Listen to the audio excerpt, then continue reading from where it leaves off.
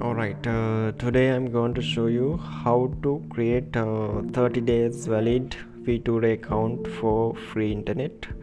Uh, to do that you need to go to uh, your web browser and uh, search ssh kit.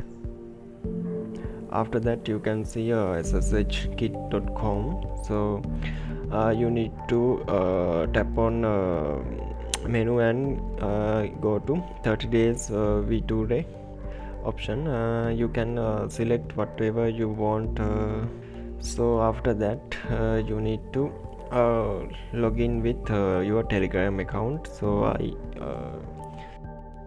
tap on that and give my telegram number.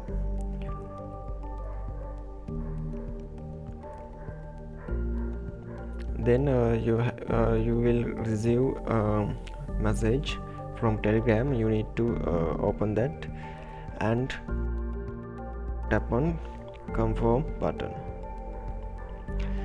Uh, now go back to your uh, sshkit.com uh, so after that you can uh, select uh, server. Uh, you can select whatever you want. I select this server and you need to enter your bug host so I use uh, zoom.us uh, you can uh, use uh, whatever you want. Uh, I mean um, like uh, facebook.com uh, youtube.com zoom.us skype.com anything. Uh, so after that uh, you can submit.